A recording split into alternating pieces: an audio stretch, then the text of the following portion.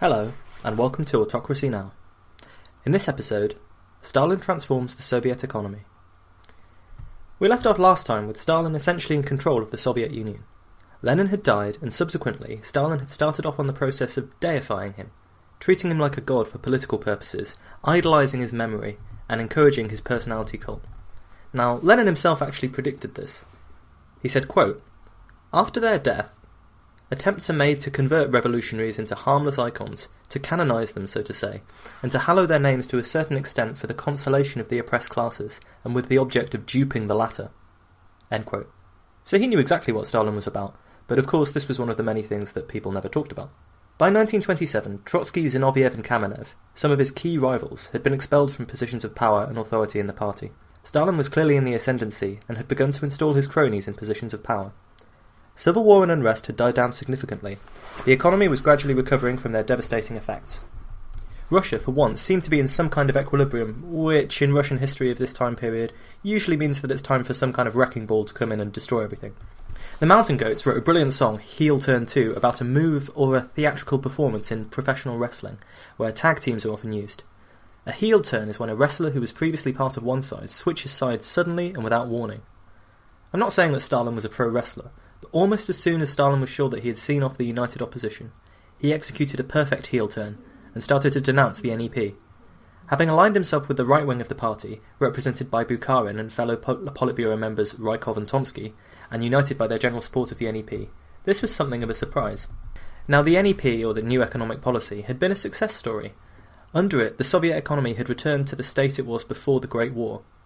Now, that doesn't sound like a fantastic achievement, but it must be remembered that in that time they suffered a terrible military defeat by the Germans, then an intense civil war and revolution, and accompanying famines and diseases that killed millions. The fact that only three or four years after the fighting had stopped, the economy had returned to some semblance of what it was before the disaster was a major achievement. But the pace of change of industrialization brought on by the NEP was too slow for Stalin and other leading Bolsheviks. This was for a few reasons. The Bolsheviks wanted to modernize the country, partly out of the idealism of socialism, and, and partly so that Russia could defend herself in future wars. You also need to remember that their Marxist philosophy, where everyone is basically either a bourgeois, landowner, or an urban worker, had little room for Russia's agricultural economy, and so they needed Russia to become an industrial nation, and quickly, so that the revolution could go ahead. Stalin found his excuse to abandon the NEP with the grain crisis in 1927. Under the NEP, there was a small degree of capitalism, and so the government procured grain from the peasants while allowing them to sell off a surplus. But in 1927, the amount the government could obtain fell dramatically. A lot of this was down to Bolshevik meddling in the economy. While Bukharin and others supported the NEP, at least for now, for them it was always a temporary compromise, a little dose of capitalism to ease the transition into socialism. So the Bolshevik right wing tried to move gradually towards the centralized government control that they really wanted, and they did this by buying up flour mills and artificially lowering the price that they paid for grain. But the net result of the price fixing was just the disruption of the economy that led to the grain crisis, which in many ways gave Stalin just the chance he needed to execute his heel turn. The softly softly approach was over. This was begun in a trip to the farming regions of Siberia on Russia's famous Trans-Siberian Railway, now, incidentally, there's a famous story, although it's probably untrue, that the railway itself had a vast kink in it because the Tsar, when he drew the line on the map to denote where the railway was going to be, used a ruler with a little nick in it. Everyone, so the story goes, was too afraid of him to correct this error, and proceeded to build the railway complete with kink. This is an anecdotal evidence about the perils of absolute power that goes unquestioned, and see in the dictionary under Stalin for more evidence of that. So, Stalin personally went to Siberia, had a brief look around, maybe had some awkward conversations with the girls he'd met while he was exiled there, and then blamed the grain crisis on kulaks, the wealthy class of peasants who sold their surpluses. They were hoarders, they were capitalists, and they were anti-Bolshevik, so Stalin had them rounded up and arrested en masse. Obviously, Stalin had no interest in genuinely resolving the crisis, but instead using it as an excuse to tighten control over the peasants.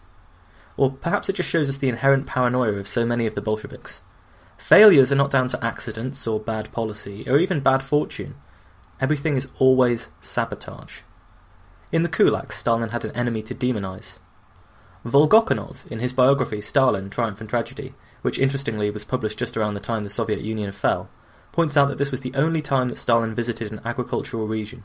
He knew nothing of the lives of the peasants and the way that a bad harvest could make grain harder to obtain. Montefiore describes the pivot this way Quote, Stalin was a natural radical, and now he shamelessly stole the clothes of the leftists he had just defeated. He and his allies were already talking of a new final revolution, the great turn leftwards to solve the problem of the peasantry and economic backwardness. These Bolsheviks hated the obstinate old world of the peasants. They had to be herded into collective farms, their grain forcibly collected and sold abroad to fund a Malik gallop to create an instant industrial powerhouse that could produce tanks and planes. Private trade of food was stopped. Kulaks were ordered to deliver their grain and prosecuted as speculators if they did not. The villagers themselves were forced into collectives. Anyone who resisted was a kulak enemy.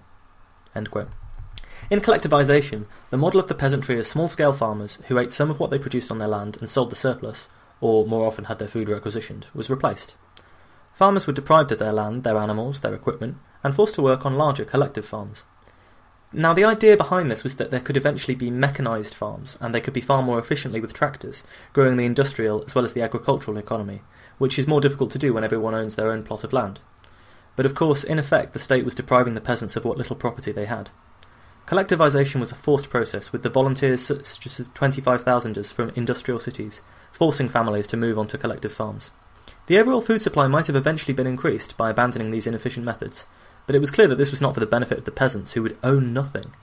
In effect, the Soviet state was attempting to reduce them back to a sort of red serfdom, with tight government controls and little private ownership. Montefiore quotes a young activist, Lev Kopelev, who took part in the grain raids that began the early part of collectivization. He says, quote, I was scouring the countryside, searching for hidden grain, I emptied out old folks' storage chests, stopping my ears to the children's crying and the women's wails. I was convinced that I was accomplishing the great and necessary transformation of the countryside. Those accused of being kulaks were divided into three categories. The first were shot straight away by a local branch of the secret police. The second were deported to Siberia with their property confiscated. And the third group were evicted from their homes and used as forced labour locally. A young lady from one of the collectivised villages provides a harrowing tale in the interview, which Orlando Figes conducted and which you can access online, Antonina Golovina, whose father was arrested as a kulak, described what his life was really like. She would wake up at two or three in the morning to find him downstairs, doing odd jobs after a full day in the field harvesting grain. You know, these weren't the wealthy kulaks that Stalin portrayed them to be. This was what was necessary for families like hers to make ends meet, and by modern Western standards we'd think they're barely struggling to get by, and yet they were still demonised as wealthy slackers and saboteurs. In reality, the reason he was called a kulak was because their family was just envied by others in the village for some reason or another.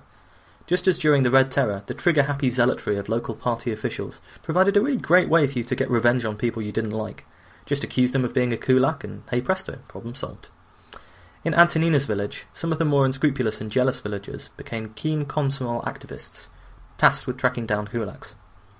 They used to regularly enter her house and torment her father, accusing him of plotting against Soviet power even as he tried to reason with them. One exchange grew heated, and the party activist, who was just the head of a local family, said, quote, I killed your brother and got away with it. I can have you killed as well. Her father lost control at this and attacked the man. For that, he was caught up in dekulakization, arrested, and sentenced to five years in the gulag. Antonina herself was deported to a new school, where even the teachers had no mercy. She recalls, and all of a sudden she started yelling at us, saying, You enemies of the people, wretched kulaks, you deserve to be deported. I hope you're all exterminated. Of course, we were all silent when she started calling us all sorts of things, and in the end she just sent us home. I think it's really important to read some of these interviews because it's just fascinating to see how people look back on their lives and on so many things that seem unthinkable to us now, but that must have been normal then based on the way they discuss them. There is a terrible irony in discussing the human cost of these policies. The irony lies in the use of statistics. Of course, Stalin is supposed to have said that one death is a tragedy, a million deaths is a statistic. I don't know if he actually said it, but it certainly sums up his attitude pretty well. When I want to explain the magnitude of the disruption caused by the five year plans, that between 4 and 6 million kulaks were deported, arrested, or executed, for example, I'm falling into the same trap that the Soviet leaders did. Individuals become replaced by statistics in some vast behemothing machine. Targets and numbers are everything. The reality behind what it means to have so many million tons of steel, or 80% of the farms collectivized in a year in the Ukraine, this is as unimaginable to me as it was to Stalin and others in the Politburo, who were divorced from the reality on the ground.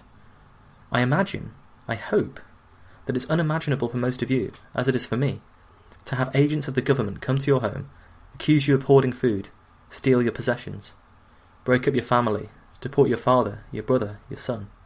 Stalin's comment on the policy of dekulakization. When the head is cut off, no one wastes tears on the hair. We can't comprehend the numbers. There was divorce from reality as the Soviet planners who dreamed of utopia and wrote down their dreams of 200% increases in production. There was far from a true understanding of the problem as Stalin was when he scribbled on his notepad, What is a kulak? There was vast disruption in the countryside, not only the general chaos that occurred due to the rapid pace at which collectivization was forced on the peasants, but also due to passive resistance among the farmers. Collectivization looked an awful lot like requisition to them.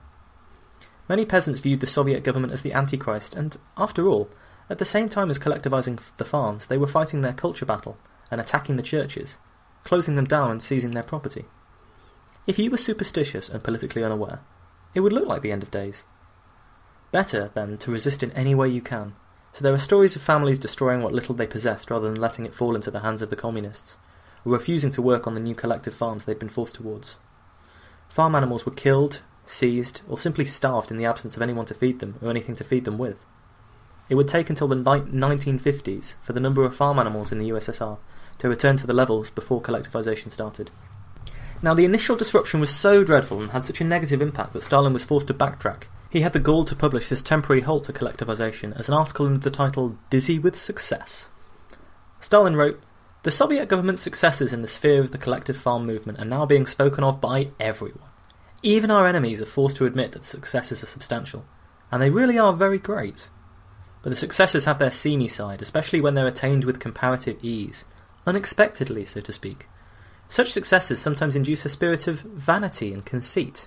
We can achieve anything. There's nothing we can't do. People not infrequently become intoxicated by such successes. They become dizzy with success, lose all sense of proportion and the capacity to understand realities. They show a tendency to overrate their own strength, and to underrate the strength of the enemy. Adventurous attempts are made to solve all questions of socialist construction in a trice. It cannot be said that these dangerous and harmful sentiments are widespread in the ranks of our party, but they do exist in our party, and there are no grounds for asserting that they will not become stronger. And if they should be allowed free scope, there can be no doubt that the collective farm movement will be considerably weakened, and the danger of its breaking down may become a reality.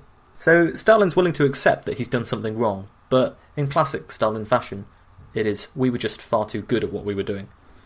He later blames the forced collectivization on overzealous underlings. You just didn't explain it properly. But Stalin's apparent softening was just a temporary concession to political reality. He was a master of the temporary political retreat, followed by the subtle intensification of previous policies as time went on. Consider the dramatic series of fake resignations that he'd offered to Lenin whenever he didn't get his own way. In reality, despite the letter, collectivization didn't slow in pace. Widespread coercion was expanded. Between 1930 and 1, even after Dizzy with success, the percentage of farms that were collective farms doubled. If you had to use one word to describe Stalin's economic policy after this great heel turn when the NEP was abandoned, it would be force. Everything was to be done by force. The rhetoric became more brutal and vigorous than before.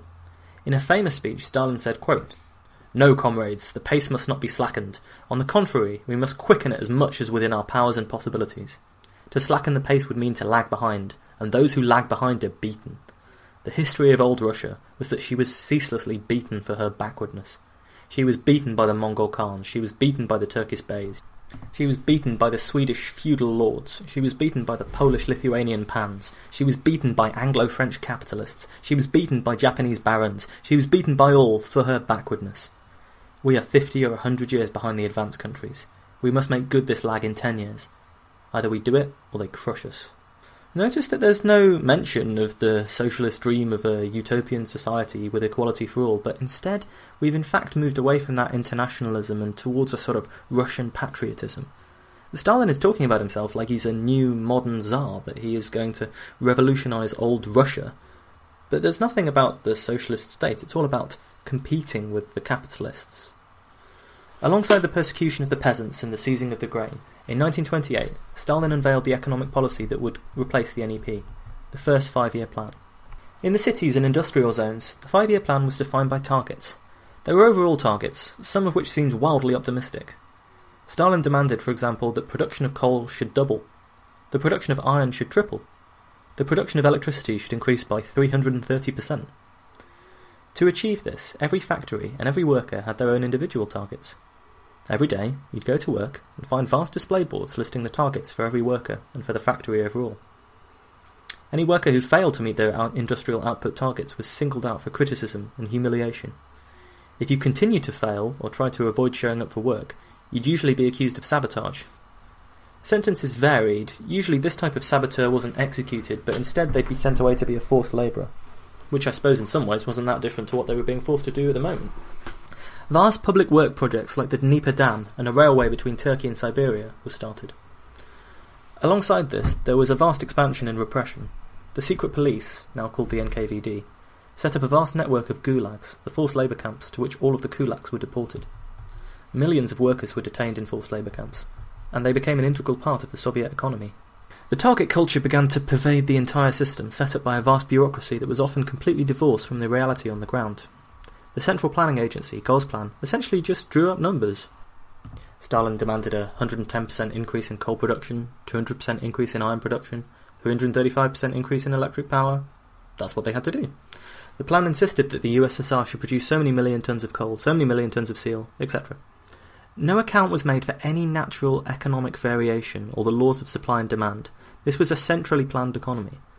The machines and new factories that would be required to fulfill these targets would be paid for by the export of grain collected from the peasants. Stalin said in a letter to Molotov, one of his key allies, Force the export of grain to a maximum. This is the core of everything. Targets were inextricably linked with Soviet propaganda.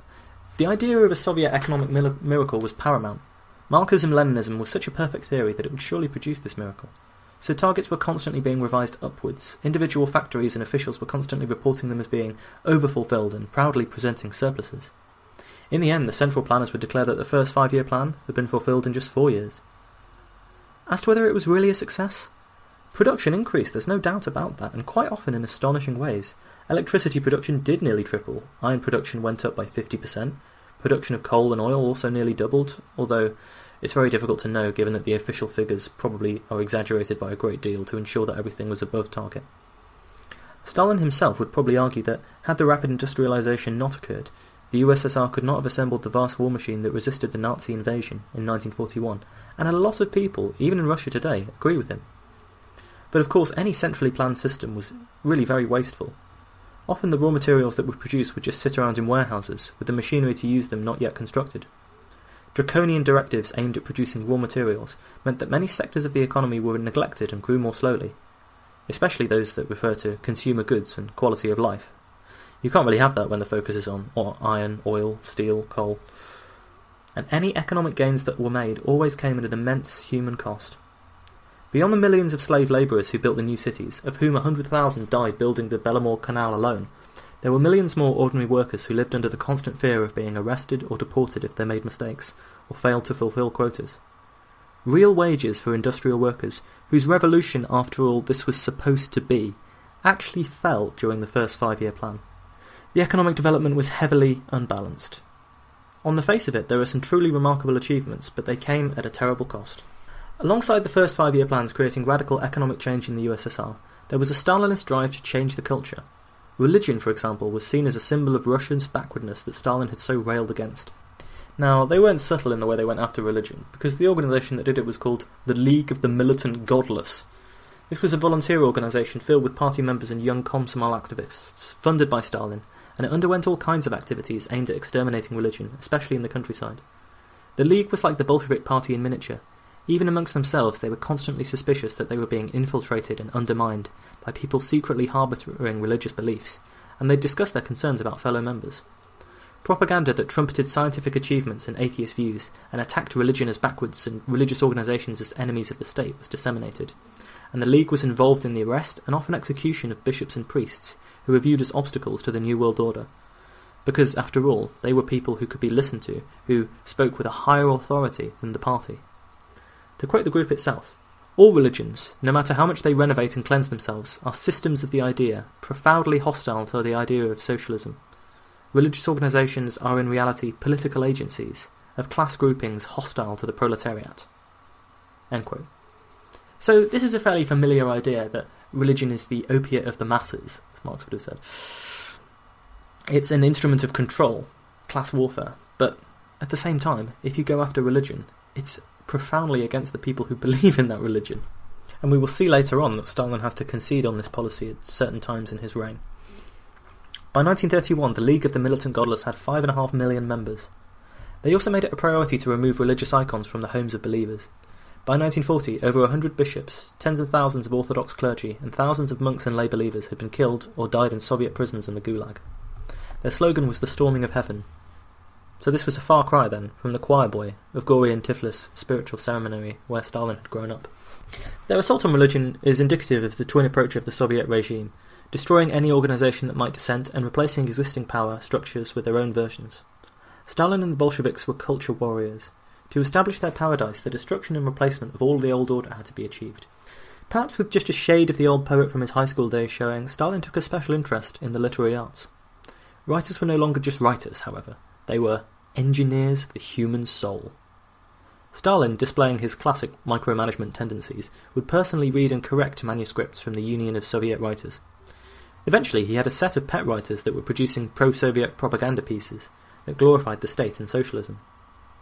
Yet, interestingly, censorship was not always absolute. Take the example of Mikhail Sokolov, who became a prominent writer in the Soviet canon and frequently met with Stalin. He wrote a novel, The Virgin Soil Upturned, about the policy of collectivization, and while it was broadly supportive of the policy's aims, it did not always shy away from some of the more brutal realities of it. Sholokhov had a conscience. Robert Service remarks Sholokhov was not a servile hack. He was horrified by what he witnessed in the countryside, as many Cossacks were brutally herded into collective farms. Repeatedly he wrote to Stalin pointing this out. As famine grew in southern Russia, the correspondence became heated. Sholokhov's letters testified to his courage, Stalin's engagement with him signals a recognition that loyalist intellectuals provided a useful function for him by raising difficult questions without ever threatening his political position. Stalin would never allow a politician to get away with such impertinence. Maxim Gorky was another novelist who frequently visited Stalin.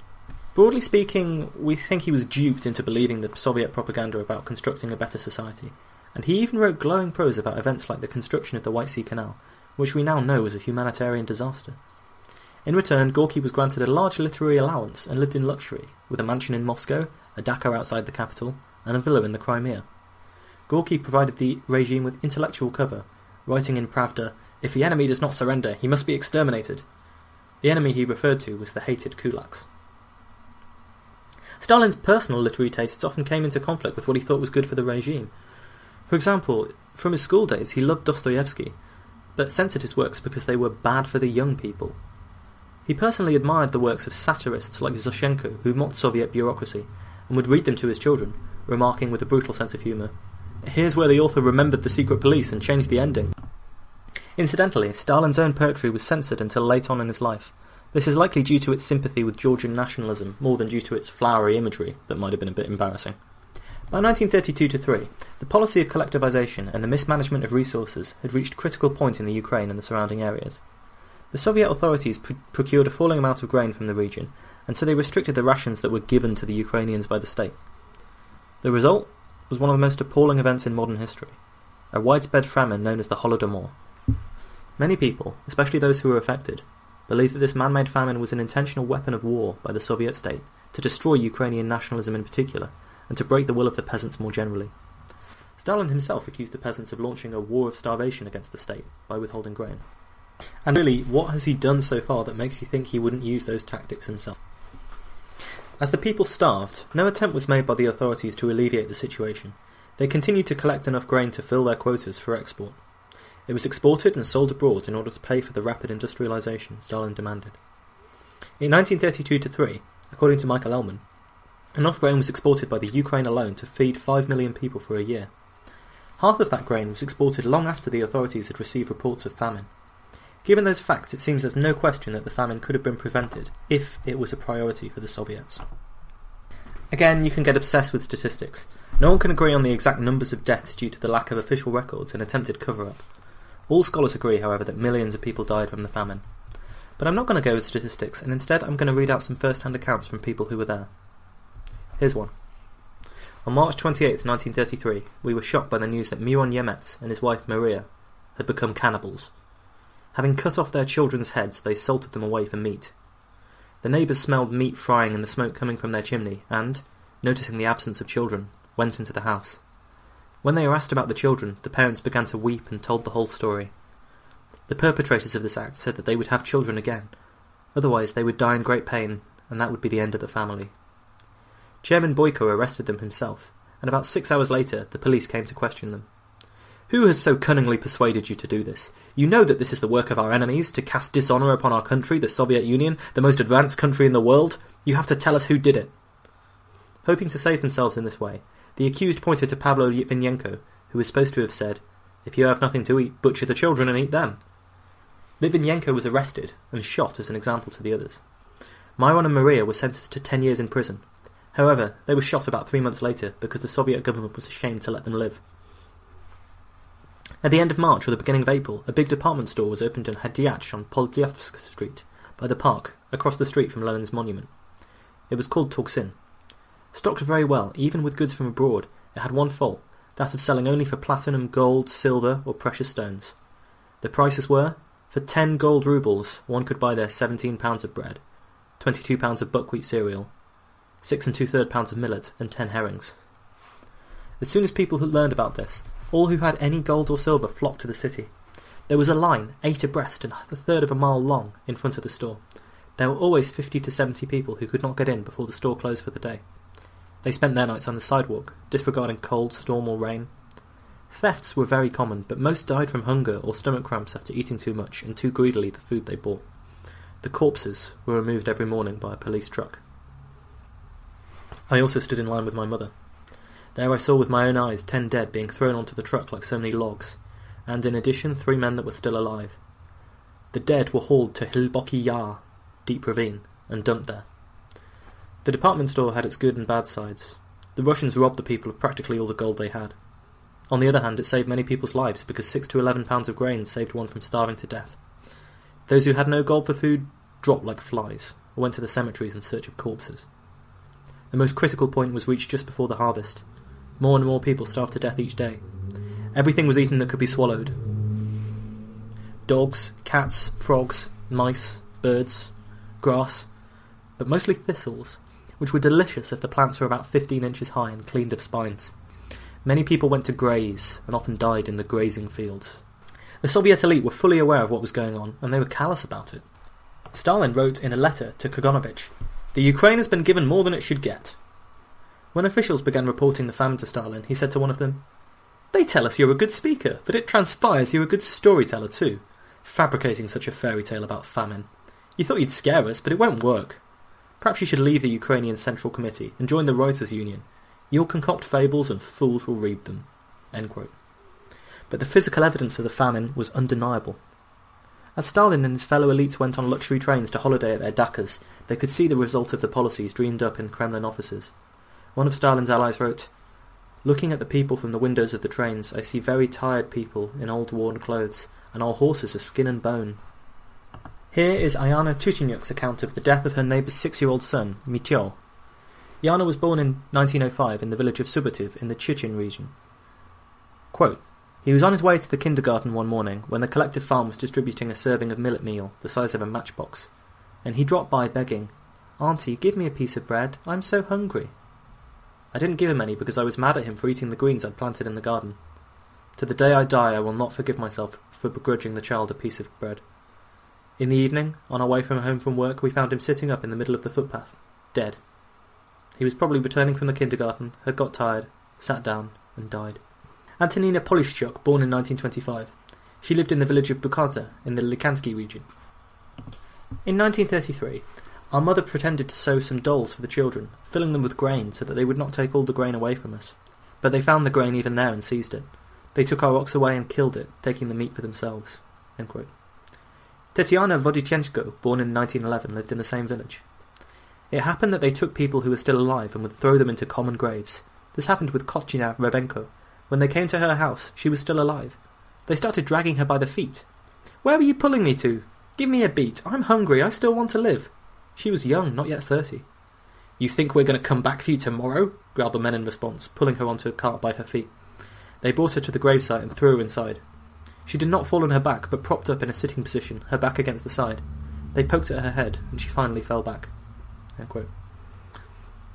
Stepanidia Horovina, born in 1905 from the village of Shabianka in the region by the same name. She said, In 1933, my neighbour lured my daughter to my house, killed her with a knife and ate her. My daughter was all of six years old at the time. When the beast was seized and taken to prison, she kept taking out slices of meat and eating them, saying, Mmm, how tasty. Had I known, I would have killed her earlier. The police could not tolerate this any longer, and they shot her right there on the road. Timothy Snyder wrote in his book Bloodlands, summarising the Holodomor. Quote, Survival was a moral as well as a physical struggle. A woman doctor wrote to her friend in June 1933 that she had not yet become a cannibal, but was not sure that I shall not be one by the time my letter reaches you. The good people died first. Those who refused to steal or to prostitute themselves died. Those who gave food to others died. Those who refused to eat corpses died. Those who refused to kill their fellow man died. Parents who resisted cannibalism died before their children did. Years later, Stalin had a conversation with Churchill where he described this. He said, We took the greatest trouble explaining collective farms to the peasants. It was no use arguing with them. It was all very bad and difficult, but necessary. Many of them agreed to come in with us, but the vast bulk were unpopular and were wiped out by their labourers. Rewriting history is easy enough when you don't have to live through the worst of it yourself. Stalin and his allies sat in offices, scrawling memos, divorcing themselves from the reality of the implementation of their idealistic policies. In reality, they were betraying the ideals of fairness and equality that socialism espoused. Whether it was to establish their paradise or simply to maintain a hold on power, they were willing to accept any cost. It's just that it would fall to others to pay that price for them. Thank you for listening to this episode. If you've enjoyed Autocracy Now, please leave us a review or rate us on iTunes. I know that everyone always says this, but it's the best way to get us noticed without me having to stand on my roof with a megaphone 24 7. You can visit our website at www.autocracynow.wordpress.com or www.autocracynow.libsyn.com. You can email the show at autocracynow at outlook.com, follow us on Twitter and Facebook, and even donate to the show if you like. Tell your friends, tell your enemies. Next episode, I'm going to loop back around and deal with the developments in Stalin's personal and political life between 1929 and 33, as the vast economic and social changes in the Soviet Union were taking place. Now, the times were so complicated and we have so much detail about them that I don't feel I can combine everything into a chronological narrative. So keep in mind that as these personal events occur, the political occur at the same time. Which is in the foreground and which is in the background probably depends on your perspective. We will discuss the changing of the guard between his old allies of convenience like Bukharin and a new set of loyalists, and we will discuss the unhappy fate of Nadja Stalin.